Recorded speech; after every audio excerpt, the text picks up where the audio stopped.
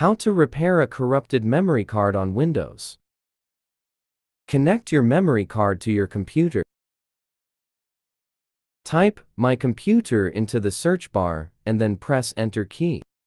Review the Devices and Drives section. Note your memory card's drive letter. Right-click Start menu and then click Command Prompt Admin. Type chkdsk drive letter slash r into command prompt, and then press enter.